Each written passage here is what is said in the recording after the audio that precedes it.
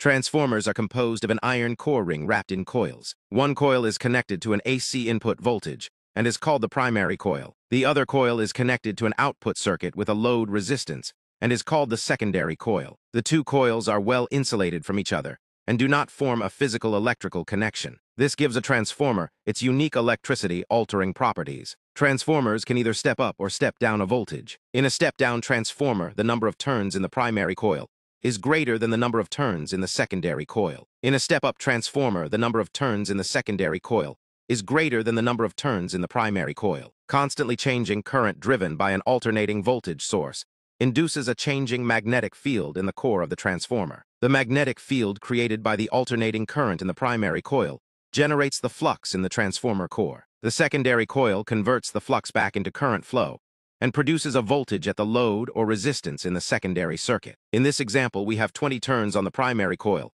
and 10 turns on the secondary coil. To determine the decrease in voltage occurring in this step-down transformer, we can use a simple ratio formula. This formula simply states that the secondary voltage to primary voltage ratio is the same as the secondary coil to primary coil turn ratio. Rearranging the formula, and then dividing 10 turns by 20 turns, we get 0.5 multiplied by 120 volts.